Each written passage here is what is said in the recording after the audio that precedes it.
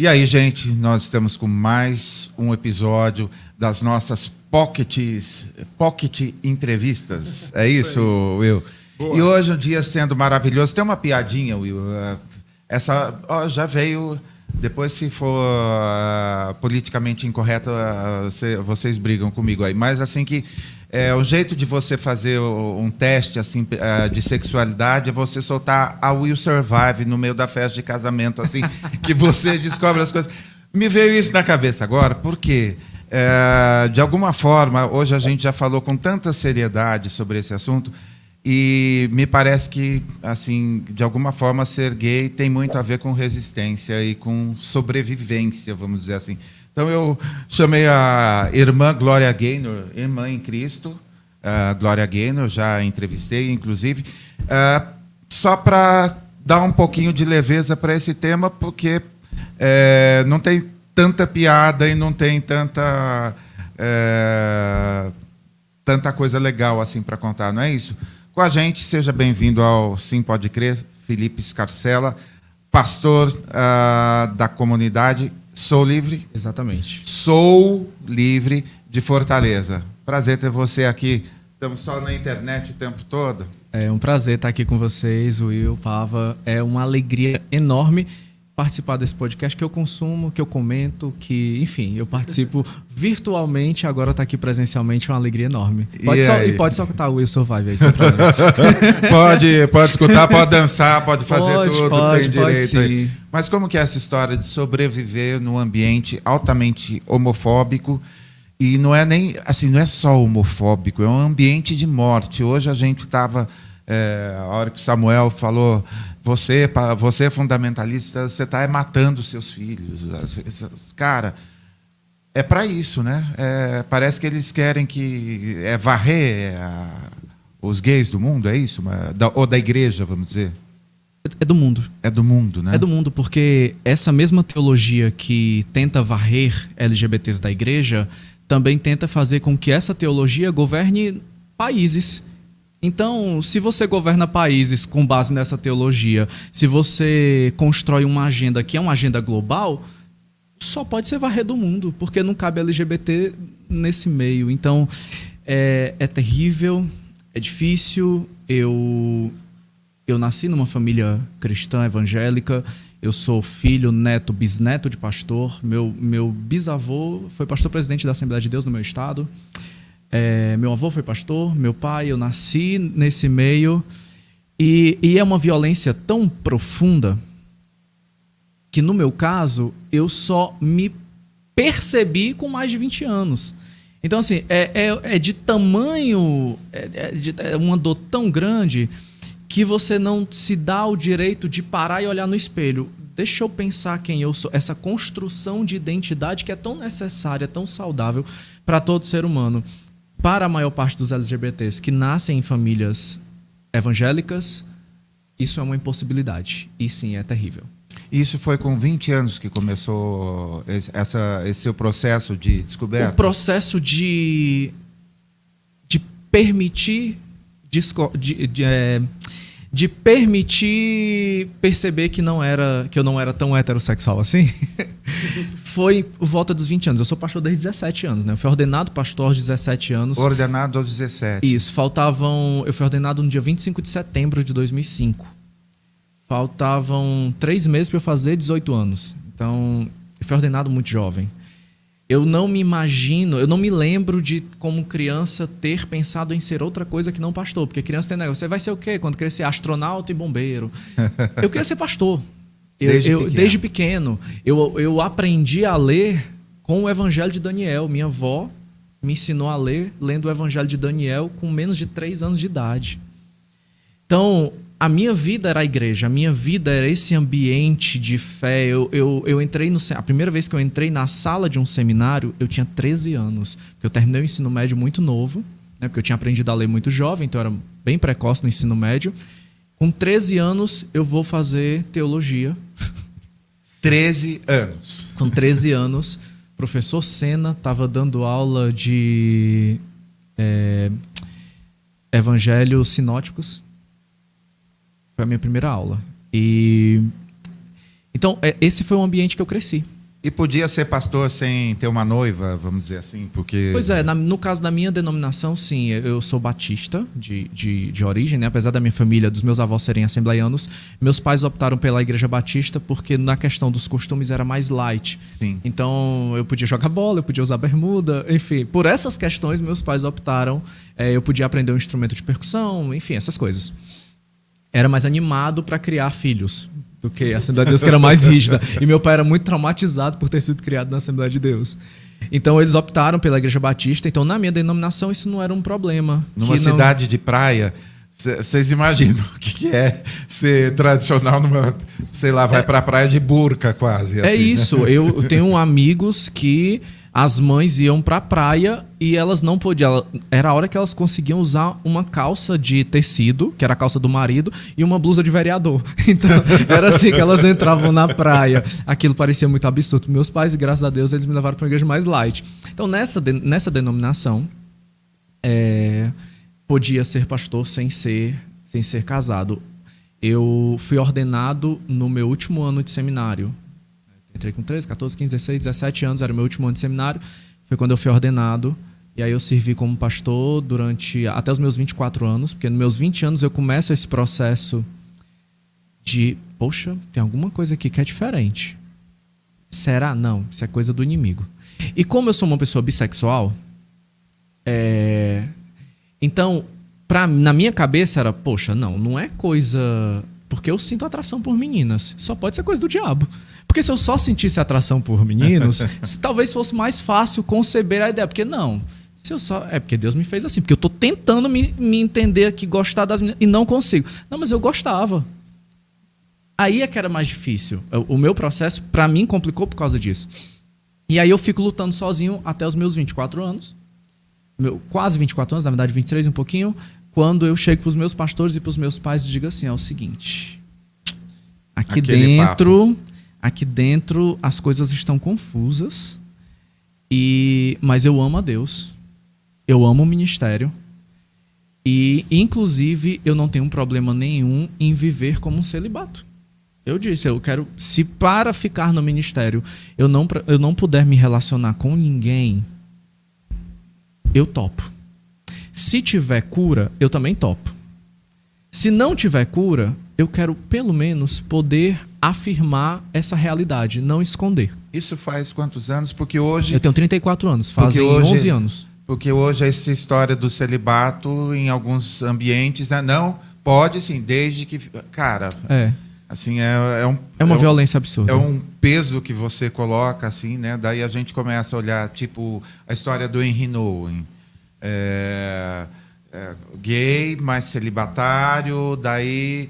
Então, desqualificam todo o trabalho que ele fez de assistência como se fosse só uma transferência da libido para.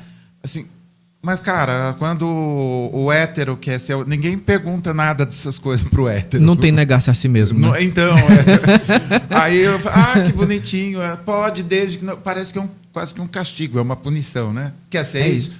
nunca vai poder desfrutar do que você gosta. Pô, meu. é mais para vingança do que, sei lá. E assim, e se Deus legitimasse esse tipo de, de, de ação, esse Deus era um Deus maligno. Esse Deus não podia ser amado. É um Deus impossível de amar. Eu eu topei os processos, né? Eu fui encaminhado para os retiros de cura. Retiros de cura. Você sabia disso, Sim. Will? Retiros de cura, meu Deus. É, é, terrível. É uma experiência terrível. Assim, eu já contei, eu tenho lives lá no meu, no meu Instagram que eu, eu contei com mais detalhes sobre isso. Mas assim, é coisa, são, são processos de tortura mesmo. Por exemplo, você passar dias dormindo no chão do altar da igreja que é frio, e aí, porque você não entendeu, você está mortificando a carne, você está em jejum dormindo no chão. Mas, meu Deus, isso, isso vai ajudar você. Só falta o silício. É, um xiita. Pra... É isso. Assim, é um, é, é um processo. Né? Silício, né? É um processo de dor mesmo, assim, de, de você esmagar o próprio corpo na tentativa de que aquilo seja expelido no suor. Mas pode. não tem retiro de para pastor adúltero? Eu conheço tantos aí, deveria ter aí Tem uns aí que tem é, ele, o irmão e mais não sei quem. Não vi ninguém fazendo retiro dessas coisas. Não, a, a mal gay tem que dormir no chão. É, inclusive uma coisa que eu disse uma vez numa live nossa, eu repito assim, eu pastoreio muitas travestis que são têm pastores como clientes. Então, uhum. é, eu não encontrei nenhum deles no retiro que eu fui, mas talvez, enfim. É, então, assim, eu passei por esses processos, eles me renderam dores muito profundas. Né? Depois desses processos, eu nunca tinha tido nenhum tipo de tentativa de suicídio, nada disso até o retiro. Depois que eu passo por esse processo de tentativa de cura e que não deu certo, inclusive eu, eu falei isso hoje lá na, na oficina, Deus se tornou grande demais para caber eu e ele no mesmo espaço. Ele era muito pesado. Não cabia então eu, precis, eu precisava escolher entre matar Deus ou me matar. Eu preferi matar Deus durante um tempo. Caramba. E aí eu tento duas vezes suicídio. É, graças a Deus fui salvo, é, porque me acudiram. Eu já, nas duas eu estava desacordado. E em 2017 eu tento. Eu tenho uma conversa com Deus definitiva. Eu não tinha para onde ir no Natal porque meus pais, a minha família, enfim, não aceitava. É, e aí eu dividi, eu dividi uma casa com uma amiga e eu disse para ela que eu ia passar o Natal na casa dos meus avós. Para quem me convidava, eu dizia que eu ia para outro canto que era para ficar só. Paguei a luz do meu quarto enquanto a minha amiga estava se arrumando para ir para casa da família dela, para que ela pensasse que eu já tinha saído, porque senão ela queria me arrastar para casa da família dela. E eu queria ficar só. Quando ela saiu, eu liguei a luz, eu comprei umas bebidas, Tomei um, um porrezinho que era para ter coragem de falar com Deus, que eu já não falava com Deus há muito tempo. E aí eu, eu morava perto de uma avenida que tinha um BRT. E eu disse para Deus, Senhor, é o seguinte, eu já tentei duas vezes. Não deu certo. Dessa vez eu não vou errar, porque eu vou garantir que vai ser de um jeito que não vai ter como nem que me acharem. Então, se tiver alguma possibilidade de que eu possa ser comunidade de novo, de que eu possa voltar para o ministério, porque o menino Felipe nunca pensou em ser outra coisa que não pastor. É, ser pastor era a coisa mais importante que eu fazia da minha vida. O púlpito sempre foi minha casa. Estar no púlpito, estar no gabinete, recebendo pessoas, fazendo o trabalho pastoral, é, fazendo teologia, escrevendo, lendo, sempre foi a minha praia. Eu disse, e eu estava numa fase profissional massa. Eu era um moleque de 27 anos, numa fase profissional incrível, eu ganhava mais do que todos os meus amigos, eu morava numa casa melhor do que todas as pessoas que do meu círculo de amizade, mas eu não estava feliz. Senhor, se tiver a possibilidade de, de voltar para o ministério, eu troco tudo, tudo, tudo, tudo. Mas eu não topo fingir ser outra pessoa. Se tiver a possibilidade de juntar as duas coisas, eu quero. Se não tiver, amanhã, Senhor, eu vou resolver isso. E eu, graças a Deus, eu tinha bebido muito. Eu dormi eu tive uns sonhos que eu estou tratando eles até hoje na terapia, mas eu acordei com uma vontade enorme de ler a Bíblia, porque eu não tinha mais nada, eu não tinha meu certificado de ordenação pastoral, do, da teologia, eu não tinha mais as minha, minhas Bíblias, porque no dia que eu saí desse retiro que não deu certo, eu juntei tudo no quintal dos meus pais e eu incendiei. Eu toquei fogo em tudo, porque eu não queria mais saber de nada daquilo. Então não tinha nada, não tinha nem Bíblia. Aí eu liguei pro meu irmão, ele me deu uma Bíblia que eu queria que a Bíblia fosse ganhada e eu liguei para a pessoa mais homofóbica que eu conhecia na época, que era meu irmão, para ele me dar essa Bíblia. e, e eu comecei um processo de ressignificar minha fé, de, re, de compreender novamente aquilo que eu tinha entendido errado. Eu me matriculei de novo no curso de teologia para fazer a graduação de novo, porque o seminário que eu tinha feito não topava me dar o meu certificado de segunda via, porque eles não queriam me legitimar. O seminário até acabou, inclusive. É... Eu fui fazer de novo, fazer teologia de novo, estudar de novo, ler os textos de novo, os textos de terror.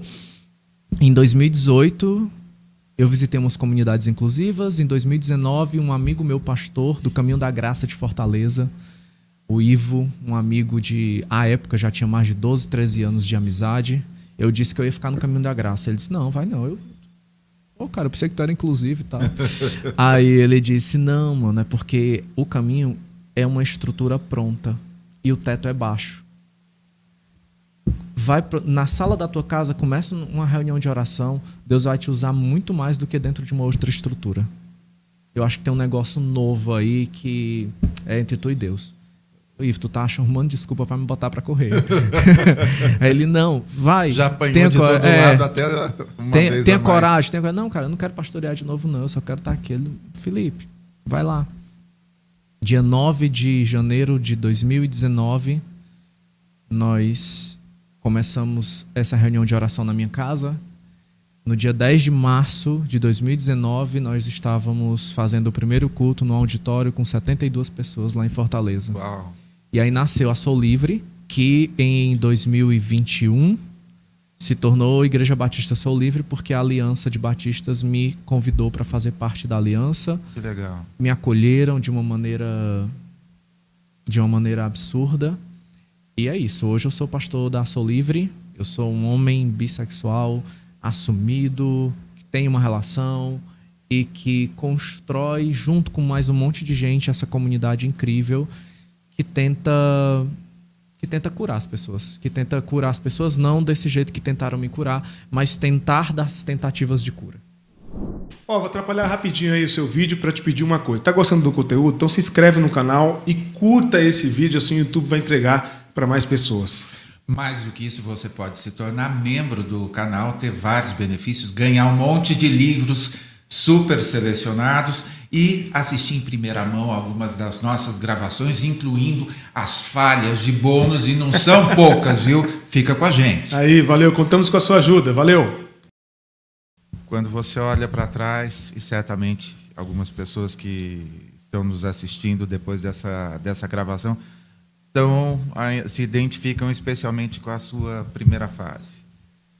Uh, como que elas podem fazer essa, essa trajetória em direção a se conhecerem e em direção à cura, né? Porque hoje a gente já falou aqui não de cura gay, mas de curar os preconceitos, né? De curar porque e tá e assim a sensação que é, que dá é que é, esses quatro anos de Bolsonaro pioraram a coisa assim num grau que tinha essa semana todo mundo brigando porque a Pablo vai cantar é, foi convidada para cantar na posse e que muitos evangélicos votaram. Então, ou seja, não pode nem ter alguém.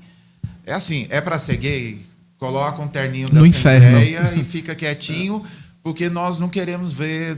Não, não querem ver alegria. O gay é só no nome, né? Gay, alegre, onde? Só, só no nome, porque não querem ver purpurina, não querem ver peruca, não querem ver alguém dançando querem que carregue quase que esse estigma da, da negação, da é tristeza. É, é isso, lá. mas é uma tentativa de apagamento mesmo.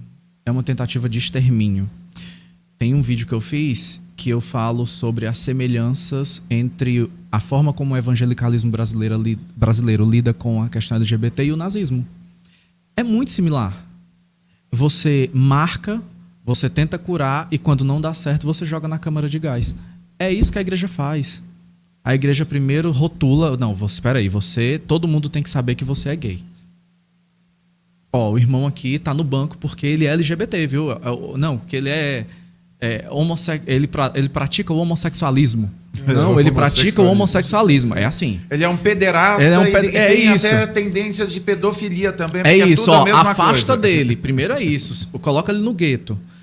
Depois vai para a lobotomia, vai para os processos de tentativa de cura. Não deu certo porque não dá certo, porque não era para dar certo, porque o certo já é do jeito que veio, de fábrica. Então, mata.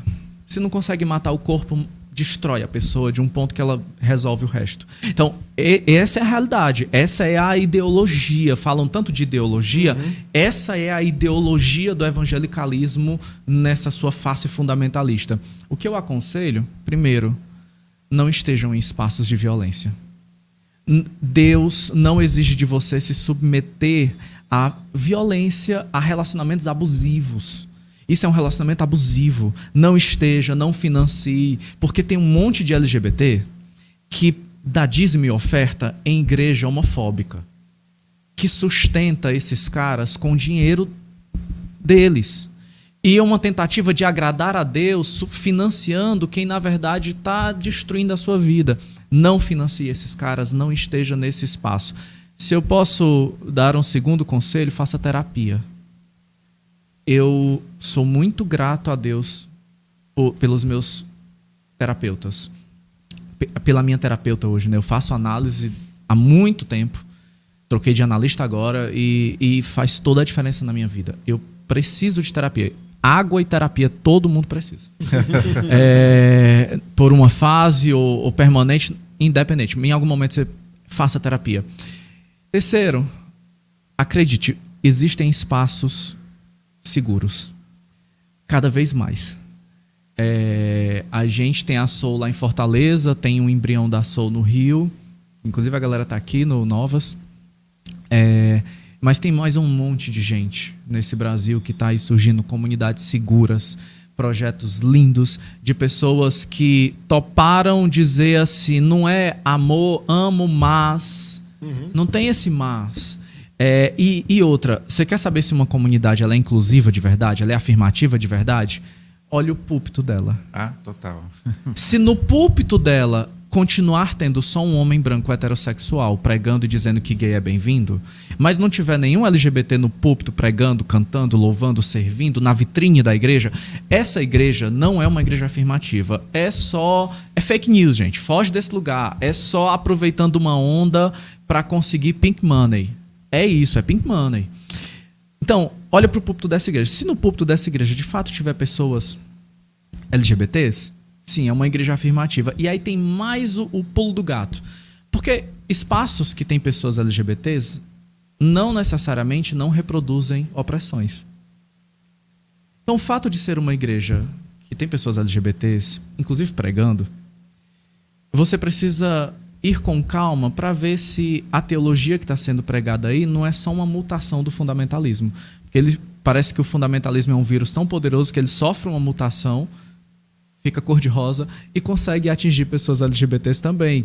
São teologias que tentam aprisionar os corpos, comandar o que, que as pessoas fazem, como é, como é o jeito certo sexualmente de ser LGBT, uma moralidade que é, na verdade, só uma herança do fundamentalismo. Dia que eu descobri que tinha escolhido esperar gospel e, e de é. igreja inclusiva, pois que é. vai falar com o líder da célula e não sei o que, eu falei, mas gente, como assim? Pois é, assim, não aceite Só troca nenhum tipo de escravidão. violência. Só é, troca o é tipo isso. de escravidão. Troca de senhor para senhora. É, é, só isso, assim. Mas não faz isso com você. Não esteja em espaços de violência. Você sofreu violência? Não esteja nesse lugar. Proteja. A Bíblia diz que sobre todas as coisas que se devem guardar, guarda o teu coração, porque é do coração que procedem as fontes da vida. Então, proteja seu coração. Não sofra violência duas vezes no mesmo lugar. E agora, sendo pastor de uma, de uma igreja, como é que tem está a relação com a sua família? Quer dizer, não é sendo que você já tinha essa relação quando Sim. eu era lá atrás. Agora Sim. sendo pastor, novamente, mas de uma igreja que realmente diz o que é, o que Sim. quer e para quem é. Pois é.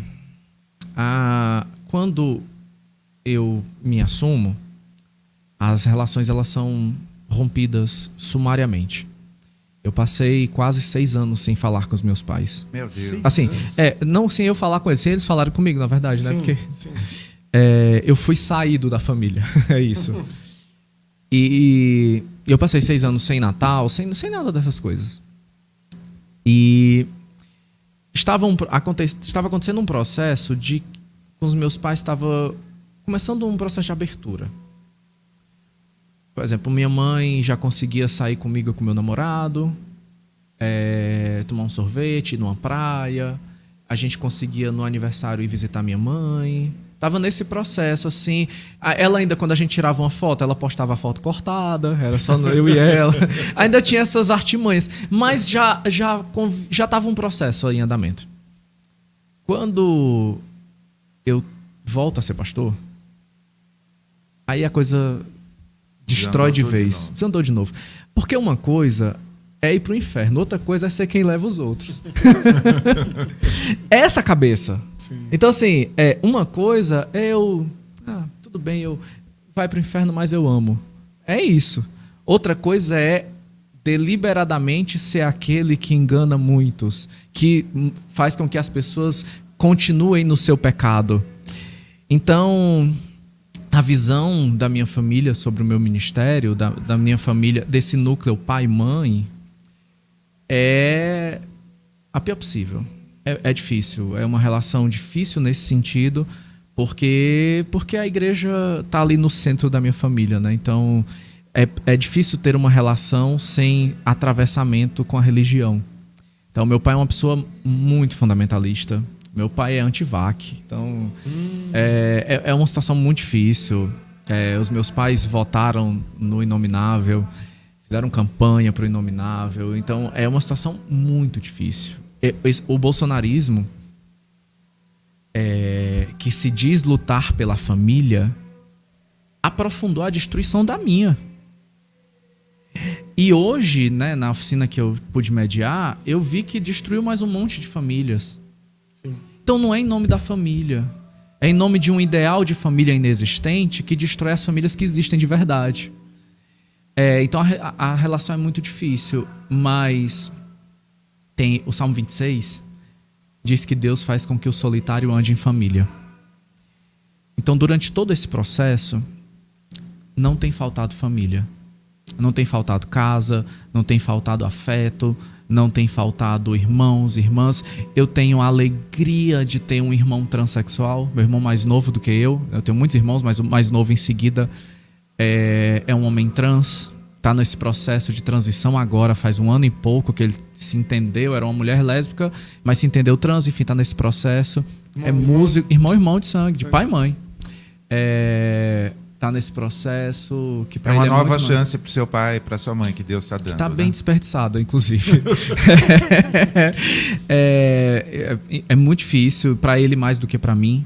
E a né? família do seu do seu marido é... com ele tem a família também ele sofre as mesmas coisas? Não, não. É uma família maravilhosa. É... Que é sua agora. Que é a minha também. família, a minha sogra é uma pessoa extremamente acolhedora é uma pessoa que não entendia, né? É, meu namorado ele, ele se assumiu muito, muito novo. Então ela precisou, ela foi estudar, ela foi estudar psicologia depois do que o filho se assumiu, né? Ela era da, da enfermagem, foi para psicologia para entender. Então hoje é uma pessoa que compreende, que ama e que acolhe e é uma relação de família. A gente se implica, a gente se gosta, a gente está junto, a gente não está, mas é uma relação de família, uma relação boa, uma relação tranquila e eu acho que é isso, sabe? A gente começou esse papo aqui dizendo que ser LGBT é sempre um, um papo muito pesado. E eu, eu queria que a gente chegasse na conclusão de que ser LGBT, na minha vida, foi a melhor coisa que Deus fez por mim. Pava, Will, se eu não fosse gay, se eu não fosse um homem bissexual, eu seria uma dessas pessoas que eu critico hoje. Deus me salvou de uma carreira de sucesso como pastor por ser gay. Deus me salvou e me converteu ao evangelho por ser gay se eu não fosse, eu sei o quanto que a minha vida estava formatada para que eu estivesse num púlpito de uma mega church. Eu fui pastor muito novo. Quando eu me assumo, eu era parte de uma equipe de uma igreja de 4.500 membros. Uau. Com 23 anos de idade. Eu pregava, estava acostumado a pregar para muita gente. Eu, meu avô era pastor presidente da Assembleia de Deus foi vice-presidente por vinte e tantos anos, depois assumiu a presidência, ficou um tempo até falecer. É, pastor de quando a, quando a convenção da Assembleia de Deus no Ceará era Ceará, Piauí e Rio Grande do Norte. Ele era presidente dessa denominação de três estados. Então, eu poderia ter escolhido a grande igreja que eu ia. Oh, não, essa aqui o dízimo é bom, essa aqui dá para eu... Poderia, quando eu me assumi e eu fui para o retiro de cura, eu voltei e não tinha dado certo, eu, eu ouvi de um grande pastor dizer assim, meu irmão, aguenta mais um pouquinho. Minha filha está com 17, ano que vem ela faz 18. Meu Deus. Ele me ofereceu a filha dele para eu fingir ser uma pessoa que eu não era, porque ele me imaginava vindo para São Paulo pastorear a filial que ia abrir aqui. E aí eu tinha que casar com a filha dele. E eu disse para ele: eu não tenho condições. Eu, eu até posso fazer sua filha feliz, mas eu não vou esconder quem eu sou. E é uma menina linda, uma menina incrível, uma pessoa maravilhosa que não tem culpa de ter nascido no ambiente que nasceu. Mas aquilo, o oferecimento foi tão vil que foi a gota d'água para eu dizer: não tem nada para mim aqui nesse lugar. Eu não consegui mais estar nesse lugar. Essa proposta de me oferecer uma pessoa para que eu fingisse ser outra coisa. Mas a igreja evangélica brasileira, nesse formato fundamentalista, é isso: uma grande corporação preocupada com estratégias de crescimento, com carreirismos que em nada tem a ver com Jesus. E Deus me salvou disso por ser LGBT. Então é uma bênção ser LGBT. Caramba, você que está acompanhando aí, espero que você assim esteja sentindo exatamente como a gente está sentindo assim feliz com a sua generosidade de compartilhar algumas coisas absolutamente pessoais e putz, lindo demais, cara. Obrigado. Eu agradeço. Obrigado mesmo, foi demais, demais. Lindo demais. E você, ó, continua aí com a gente, porque ó, a gente. Peraí, Pablo, só antes que eu esqueça que eu fiquei emocionado aqui também. a Sandra está dizendo assim que o testemunho foi, foi triste, né? O testemunho, mas que Deus te fortaleça grandemente. Amém. Tem feito isso. Vamos terminar, mas ó, essa, as transformações são possíveis e se não é possível dentro da, do lugar que você está Deus até cria uma outra denominação para você é poder isso. ser feliz é, em todas as áreas, na, como comunidade, na, com o seu parceiro, com a, a arrumar uma outra família até. É isso, sabe? É, é o chamado de Abraão. Abraão, sai da tua terra, da tua parentela e vai para um lugar que eu vou te mostrar. Tem vida. Jesus é um Deus, é Deus que ressuscita. Então, mesmo que pareça que só tem morte, tem vida, tá escuro, mas tem luz de trás. Então, continua acreditando, não desiste de Jesus, porque ele está com a gente todo dia e ele é incrível, ele é bom, o fardo dele é leve. Se o fardo não tá leve é porque não é de Jesus. Então, foge desse lugar, sai daí que tem uma família, uma casa, um colo e uma mesa para você. Ressurreição para você aí, hein, é gente? Aí. Grande Valeu. abraço. Obrigado, Obrigado, Felipe. Eu agradeço, meu irmão. Caramba, cara. Agradeço, viu? Obrigado por esse papo.